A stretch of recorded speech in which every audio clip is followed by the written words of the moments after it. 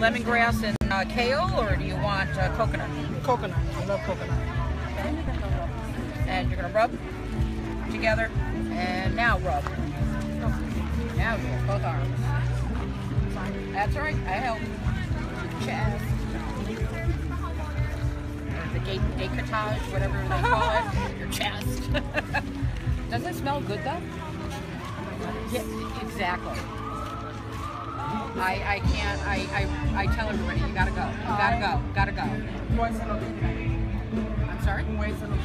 It is on West Street. It's, you know the daycare up on the hill? I call it West Street Daycare. So I'm more, I'm in the Bristol area. Like, Uh, do you know where, okay, do you- then it's on West Street. Do you know where uh, Bristol Pizza is? Okay, it's, if you're coming from Route 6, it's before Bristol Pizza. Daycare up on the top, up on a, on like a little hill, and she's directly across.